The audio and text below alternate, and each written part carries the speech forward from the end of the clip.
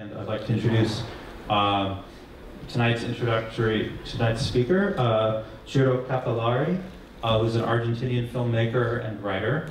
Um, and he has worked with Fernando Birri, uh, who, as I mentioned, just uh, passed away three weeks ago, uh, but sort of as a, a titan of a figure in Latin American cinema. Um, and tonight's film, as you've been plentifully made aware, is a sort of an overwhelming perceptual experience. So feel free to, uh, you know, strap yourselves in for that. But to tell you more about Fernando, please join me in welcoming Ciro Cappellari. Thank you. Uh, good evening, everyone. And I will be short because the film is very long. and uh, I will read because it's my first speech in English uh, ever. So I, I try to, uh, to be clear and short. it is a great honor to present uh, this film from Fernando Birri. And it, at the same time, it's a sad moment uh, because he passed uh, a, a, few weeks ago. and he was a very, very warm person. I think the last time he was really alive and really uh, enjoying life with uh, his, uh, his friends and other, other people we are, was close to him. He was my teacher and later my friend, and his energy was contagious. The last time I visited him was three years ago in his apartment in Rome when I met the same creative, energetic person I had always encountered. Also when he had already stopped migrating throughout the world. Fernando was for me like other contemporary directors like Glauber Rocha or from Brazil, or Sanjinés from uh, uh, Bolivia, one of the leading and revolutionary filmmakers from Latin American cinema. This was because they were breaking barriers, searching for new forms, and telling stories from new perspectives. As a young filmmaker, I saw his first time the documentary he realized together with his students in the film school from Santa Fe. This film portrayed the will of survival of children who risked their lives in the pursuit of coins that were thrown to them by passengers as the train was crossing a bridge. This film was looking at Argentinian reality totally differently than any Argentinian director had before. The way he and the students confronted poverty has continued to influence me and my work until today. As a student at, the DFFB, that is the German Academy for Television and Film in Berlin, uh, a group of students and I got the possibility to invite him to do a series of workshops over three years. He was unknown from my European colleagues, yet until today, the students that have become filmmakers speak of him as the most inspiring teacher they ever had. I would like to share with you some of the things he shared with us about this artistic philosophy. He said, I am a collective author because I do not say that it is my work, it is our work. He tried to work with people who identified with the project and when his team proposed ideas that he could never have imagined were the times that he was the happiest. And when he said the team, he really meant everyone, from the carpenter to the DP he said, I want to do films with the intention to change, to search experimental forms in order to change a society that needs to change. He appealed to our responsibility as artists, something that is still very relevant to us today. He left us a, legacy for four generations of filmmakers and artists, and inspirations, inspiration to translate and to touch, with our work where it hurts, and to continuous change reality, or better define our perce perception of reality. I remember one of his preferred sentences, it is good to dream with open eyes. Now I will uh, try to contextualize a bit of the thing we will see tonight. Uh, Org was an experiment of enormous energy and love that questioned narrative structures and the aesthetics of time, all with a revolutionary spirit of sense and ideas. He opens with this theme a discussion about the contradiction to his manifesto for the film Tire dié, what I mentioned uh, uh, in the beginning. For a national, realist, critical, and popular cinema. In contrast to a new manifesto for Org that calls for a cosmic, delirious, and lumpen cinema, uh, from Marx's uh, definition of uh, lumpen proletariat. To this contradiction, he said, when the manifest seems to be contradictory, what I anyway assume, I think that I am expanding the concept. For the first part, national, I need to clarify it's not Nazi or uh, in Nazi with Z. National, for me, is more the concept of an international community of the diversity in our world. And this sense of an internationalism moves to the concept of the cosmos, cosmic as a life experience. Delirious is break with realism, but he is going from the perspective that delirium is a part of reality. And the last point, the move from pro-popular to lumpen.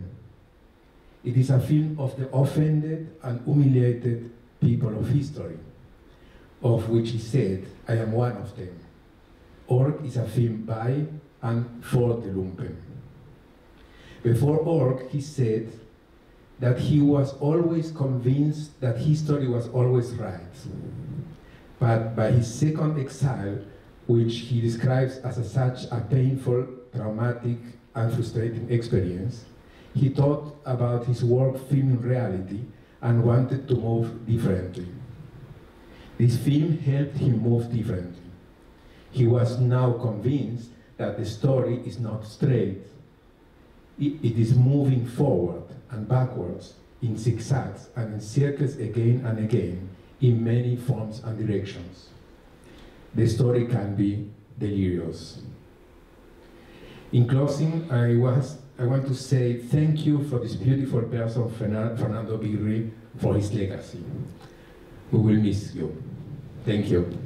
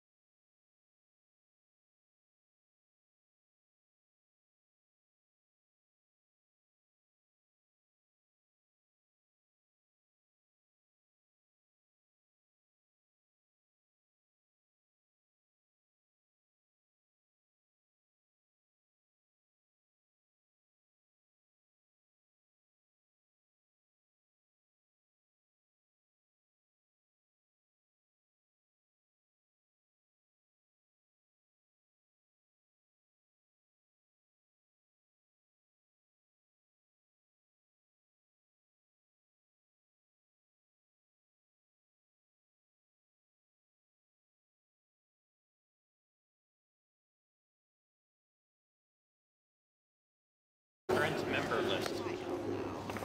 This one, the one that's in here is from, the one that's in September or from? November. November?